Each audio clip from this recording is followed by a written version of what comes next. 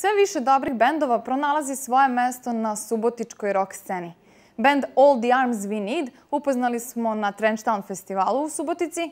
Band Ljudske potrebe čuli smo pre nekoliko nedelja, a kako do svoje publike dolazi band Nebo je crveno, saznajte u narednim minutima.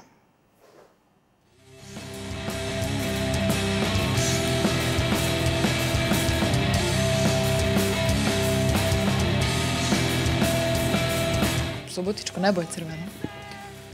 Pa nema neki poseban razlog, ovaj, nema nikakvo simboličko značenje. Samo eto, lep je naziv pa smo ga odabrali.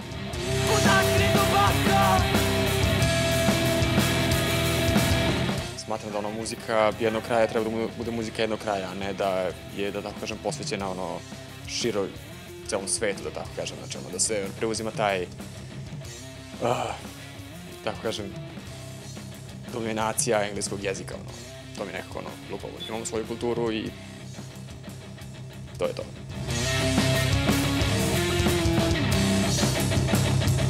Gde su žene u rock'n'rollu? Da, da, da, to je interesantno pitanje, pa i ja se pitam, ovaj, ne bih znao da dam odgovor na to pitanje.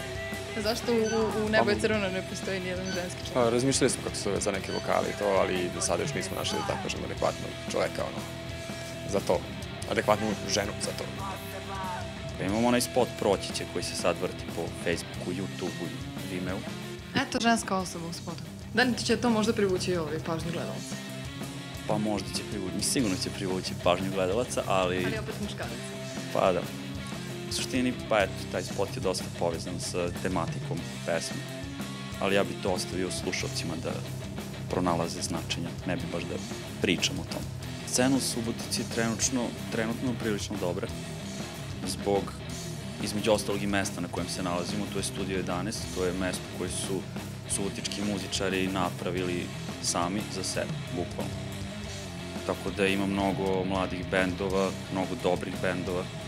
Malo pre ste pričali sa ljudskim potrebama, onda na Trenchtownu smo mi svirali sa Old Jan Zvenidom, to je isto jedan bend koji Subotice, a onako, da kažem, na nivou je. I tako, puno bendova, puno novih mladih bendova.